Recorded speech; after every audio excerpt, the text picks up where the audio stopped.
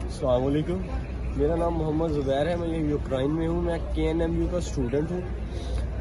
Last time आपको पता है यूक्राइन के हालात क्या हैं, खारकी में कितनी मुश्किल आ रही हैं।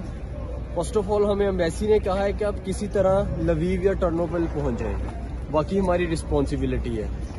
स्टूडेंट अपनी जान पर खेल के वहाँ ट्रेन पे कोई भी हमारा साथ नहीं दे रहा, किसी की गिरकर बाजू टूट रहे हैं, किसी की टांगें टूट रही हैं। बड़ी मुश्किल से ट्रेन पर सवार होके लोग लवीब तक पहुँच रहे हैं, यहाँ पे एक बंदा है, ये नहीं कि है, लेकिन वो कह रहे हैं, साफ़ अपने मुँह से कि हमारी रिस्पॉन्सिबिलिटी नहीं है।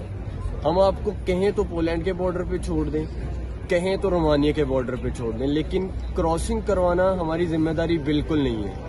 वो जो न्यूज़ चैनल पर बड़ी बड़ी बातें चल रही है ना, कि हमने इतने बच्चे रेस्क्यू कर ले, उतने बच्चे रेस्क्यू कर ले, ये रह गया, वो चला गया, सब झूठ है, यहाँ पे बच्चे रो रहे हैं दस दस दिन से भूखे हैं उनके पास खाने के लिए कुछ नहीं है। जो हो रहा है ये सब न्यूज़ है। इस, इसमें कुछ भी एक फ़ीसद भी सच नहीं है।